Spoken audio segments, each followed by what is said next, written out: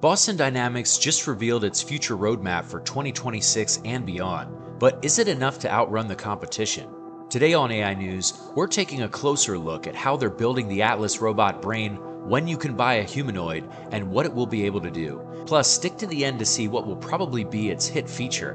But first, we have to understand how Boston Dynamics is building the Atlas brain where basically you demonstrate the robot how to do something. I think that the core part of it, it's still pretty similar to that cycle of refinement. The core difference is that you don't want to program the robot explicitly. Instead, you want to teach the robot how to do a certain task. And as the robot is doing it, you want to tell it when it has failed, how to correct for mistakes, how to improve its performance over time. So there's a core workflow there, um, something that um, we refer to as uh, post training, and um, a certain number of times. Could be, it could take in the order of a day, for example, of demonstration of an expert demonstrator uh, to tell the robot how to do that task and how to um, correct for certain errors that might happen during the execution and accumulate all that knowledge now not in the form of a program, an algorithm, but rather in the form of uh, knowledge ingrained in a neural network.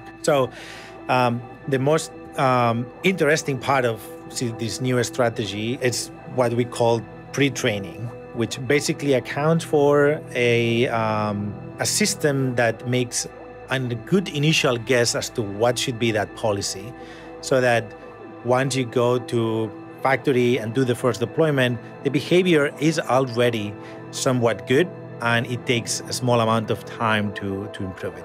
Next, they talk about the future of dexterity using this robot brain. For the uh, phase of the program where Atlas is, um, we wanted Atlas to be able to grasp many things. And um, building a gripper with three fingers, uh, we deemed sufficient. And we've proven that it is sufficient. It's a gripper that um, you can grasp almost anything that we throw at it. If you add more fingers, if you add more complexity, it always ends up you pay the price in terms of unreliability, you pay the price in terms of um, like lower speed of development.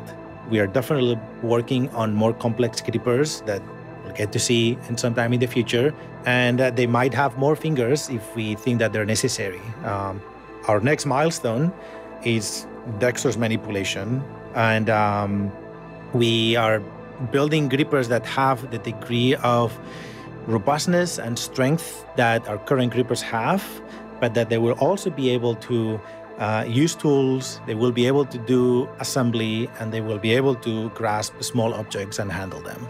But when will this robot be ready for the consumer market so that anyone can buy it? Here's what Boston Dynamics says about the timeline we are doing work to make sure that humanoids are standing in buildings. We won't build a good product unless we do that. And so we've already started going on site with Hyundai, which is our first foray into doing on site engagements. Now, Hyundai is a great partner to start with because we really need to be working with people in the early days that understand that this is not a hardened product yet. And Hyundai's really on that journey of kind of eating, they call it eating your own dog food when you're building a product. And working with us as we fail, as we succeed, to build something that really works for operators in their facilities that we can eventually leave on site and we can ha- call a hardened product that you can call me and buy. We're not quite there yet, um, and we will be getting there over the next year or two. Over the next few years, when, as we get the product more reliable, that's when we'll actually start selling Atlas. And today, you can't just call a salesperson and buy an Atlas. You have to go through me and Alberto first. And here's where it gets really interesting. Can you actually build humanoids that can uh, um, provide that degree of generality?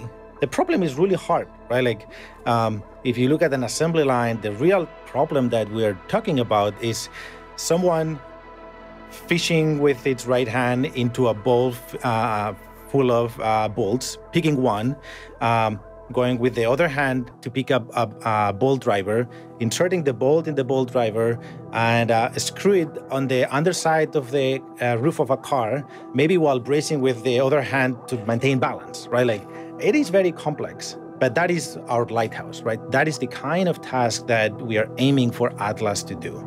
There's fundamentally no reason why it shouldn't be possible, right? The hardware is capable of it. We know that.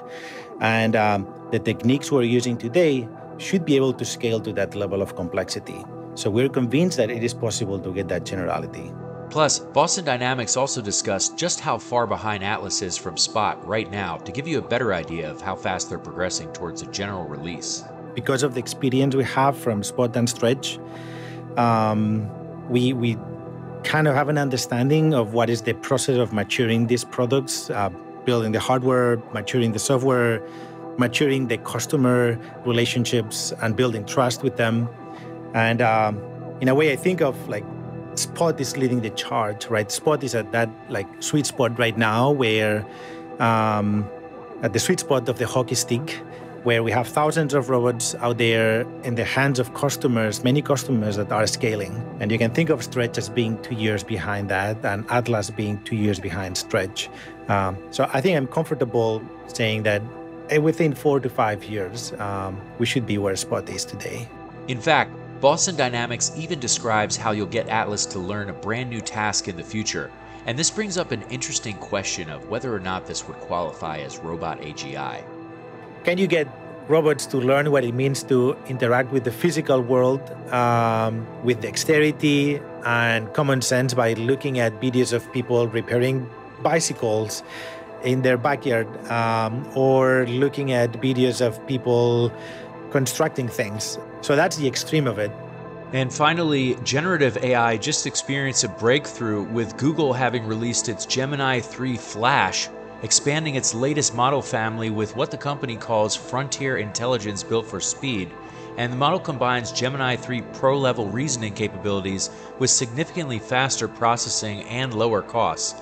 So, getting into the benchmarks, Google claims it outperforms its predecessor Gemini 2.5 Pro across multiple metrics while running three times faster, and these efficiency gains extend to token usage, with the model using 30% fewer tokens on average than 2.5 Pro for everyday tasks while maintaining higher performance all the while. Google is charging 50 cents per million input tokens and $3 per million output tokens, and for audio input, the cost remains at $1 per million tokens. And currently, developers can access Gemini 3 Flash through Google AI Studio, Vertex AI, and Gemini CLI.